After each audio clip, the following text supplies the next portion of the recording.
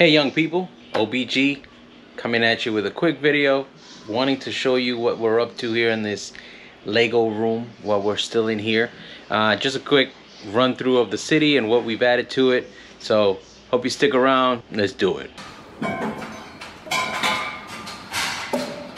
So we've made some additions to the city in the past couple of weeks. Some very big, some pretty small, and some very expensive as you can see. There are some streets that we need to add as you can see there's some gaps here that we gotta take care of and expand this area here. We got another table that we're going to be adding because this is not going to stay like this. Uh, we are going to figure out a way to actually finish these roads off and turn them into a different part of the city. So that's going to be interesting as to where we're going to be doing that.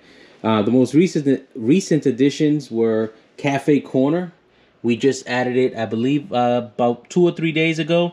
So that's sitting there nice and sexy. Very expensive set. I don't even want to. Talk I don't even want to talk about it.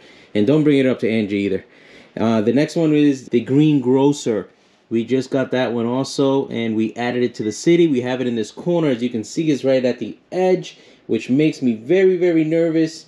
Seeing that the set is as much as some car notes but uh, I am going to figure out a way to get it out of here and put it in that corner for right now. Just to, you know, for peace of mind. We also have the corner garage. We haven't started building this yet. This is going to be coming up soon. And then we're going to take these two up houses that we have here and we're going to turn them into a modular. So we can um, add it to the city, give it its own little section. Hopefully when we get the Daily Bugle, we can put the put it right next to the Daily Bugle. And when we start building the TV show building, uh, modular. We'll be able to put it right next next to that as well, which gives it that up feel with the tall buildings right next to it. So yeah, so we have a lot of roads that we have to add. We got to buy a lot of parts from um, Bricklink. Don't mind the bikini. At some point, I will give you guys an idea as to why that's up there. But yeah, so we got some stuff that we just need to make sure that when we get it, we put it out here because sometimes the motivation is not all there.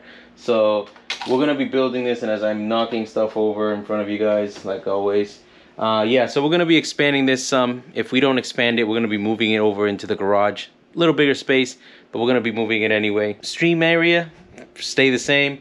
We haven't done much to it. We're just gonna leave it as is. Smaller table and fa the fancy cam still up. It fell over the other day but it's still up and running we have the display case hasn't changed. Everything stayed the same. We're finding a home for the Hogwarts Express. The Star Wars is still there. And then, of course, we still have a backlog. We have a bunch of sets that we still have not completed. As you can see down here, these sets still need to be worked on. And this one right here is going to require some extra space. And we're hoping this one and this one get built within the next, I'd say, a couple months probably take me a couple months to build one of them. So we'll go from there. But i just want to say a big thank you to everybody that has stopped by the streams that watches these videos likes shares and comments on the videos. It's truly appreciated not only by me but by angie because it allows her time to watch her shows while i'm on the computer trying to make videos that you guys would enjoy. And this is going to be the 17th time i say it but i am going to be focusing on making more content putting more content out there long form videos. Uh, shorts you're always going to see but the long form is what I want to focus on. Streams, of course, we're still going to have them. So this is going to be the final question for the giveaway that we started a couple of videos ago. This question, if you answer it right and you answer the right, um, you gave the right answer on the previous video, will automatically qualify you so the next stream will be giving away um, a Lego set. So the question is, how old is Old Brick Guy?